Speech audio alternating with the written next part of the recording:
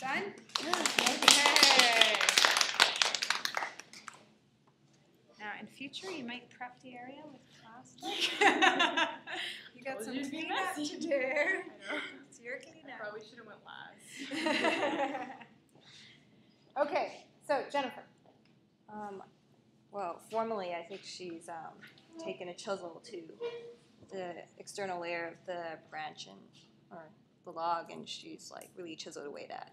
I think everything that's rotten, almost except for this part in here, and um, she's kind of created these crevices for um, her mashed up pulp to flow through. So, um, in terms of um, an adjective I would use to describe her whole process in terms of the piece relationship between hard and soft. I think it's self-referential. Um, first of all, you know, she performs the act herself. She goes about, you know, getting this artificial um, wood-derived pulp and um, then pours it all over. And uh, it's also non-compositional because she's not actually like kind of making the form or the soft form by hand. She's actually allowing the gravity to kind of create that as it flows through these. Um, maybe the point where it is compositional is that she has chiseled out these um, rotten parts. And Unless we find out that that's just where the wood rotted.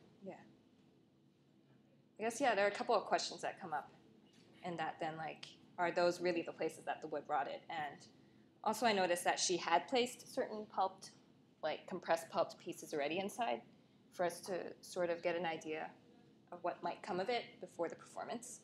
So um, that's one of the things that I might not have done because um, I think that people might be able to intuit or sort of um, there'd be a more open interpretation as to what the work was about. Maybe if you didn't put it in at first, because I think the the paper thing makes it um, very apparent about this kind of idea of you know processed natural raw products and um, what we do to you know to the environment. So